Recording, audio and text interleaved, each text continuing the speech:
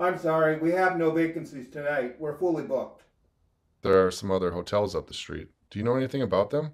Can you recommend another hotel? Well, there's the Union Hotel.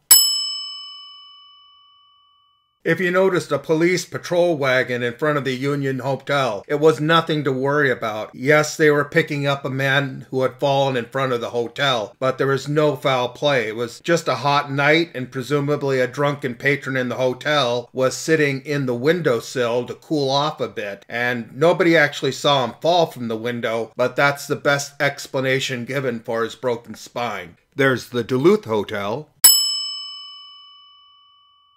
well, it goes without saying that contagious diseases can spread and cause a lot of problems, but the circumstances of what just happened at the Duluth Hotel were very peculiar indeed. A Norwegian laborer was staying there and he caught a bad case of the flu. He sought to medicate himself by drinking cheap whiskey, and he became increasingly drunk in the process. For no apparent reason, he decided to go down into the lobby and begin beating up the hotel's proprietor. The police came and arrested him for disorderly conduct, so I think that the hotel has quieted down quite a bit.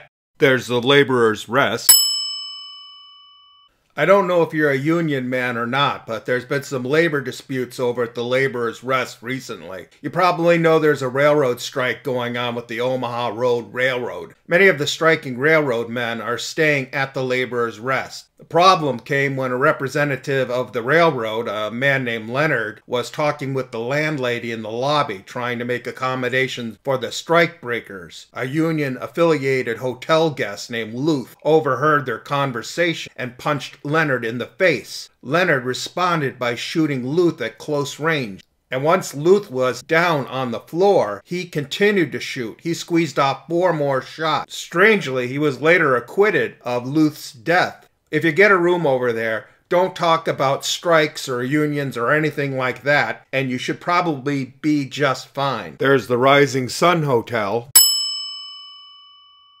I have it on good authority that there's a room that's now vacant at the Rising Sun Hotel. A guest just committed suicide over there. He had told his wife that he was going to kill himself, but she didn't take him very seriously, and he was determined to prove her wrong.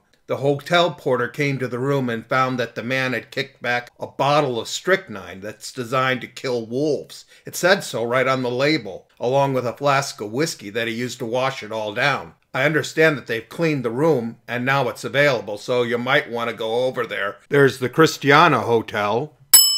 Sometimes travelers who are either short on dough or if there's a shortage of rooms available decide to share a room with a stranger. This doesn't work out so well all the time, and that's just what happened to a Mr. Pearson over at the Christiana Hotel. The first two nights went well enough, but on the third night his new acquaintance stole $11 from him and disappeared. I suggest avoid sharing room with strangers, and that would be my primary advice. There's the Minnesota House Hotel. Personally, I think that the recent concerns about arson fires in Lowertown have been very exaggerated, and they shouldn't really be that much concern for able bodied travelers, particularly those who are smart enough to get rooms on the first floor or the second floor, just in case that arsonist returns. The police haven't caught the firebugs, but it did receive quite a bit of attention when they torched the shed behind the Minnesota house. The staff is aware of the problem and they're keeping an eye out, so I think that it's fairly safe. I'm sorry we weren't able to offer you a room tonight, but at least I hope that you find a safe place to stay and don't have to sleep in the gutter or some dangerous hotel. To stay updated about dangerous places in the city, you may want to subscribe to our YouTube channel. And please don't forget to hit the notification bell to stay fully informed. Until next, safe dreams and safe travels.